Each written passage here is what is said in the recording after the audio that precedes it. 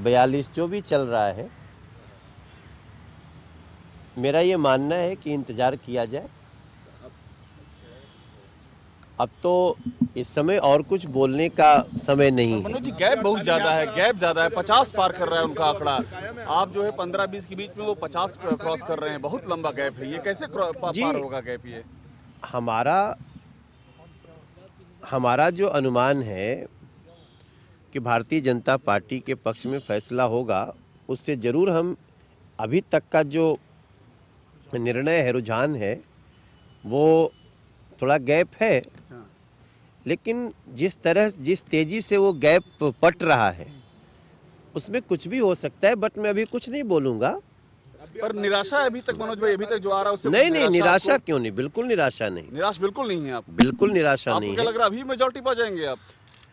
अरे भाई अभी तो दस बज रहा है बारह बजे के पहले क्यों आप हमको हराने में लगे शुरुआत में आप बहुत पिछड़ गए हैं।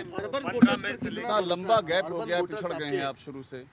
नहीं ठीक है देखो शुरुआत हुआ तो चौदह पंद्रह पे आगे थे अभी तेईस चौबीस पे आगे हैं बाईस पे आगे हैं। तो आप देखते रहिए।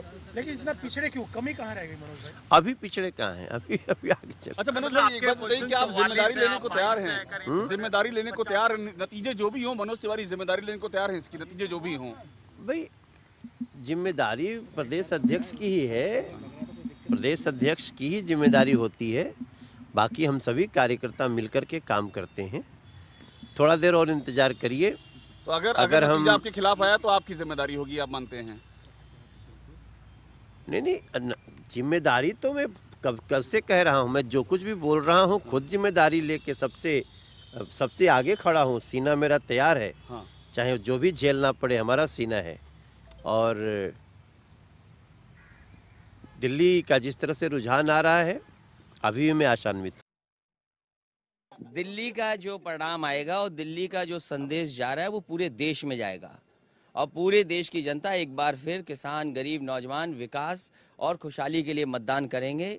ये जो नफरत की राजनीति भारतीय जनता पार्टी ने बहुत दिनों से की हुई थी, उसमें वो असफल होते हुए दिखाई देंगे।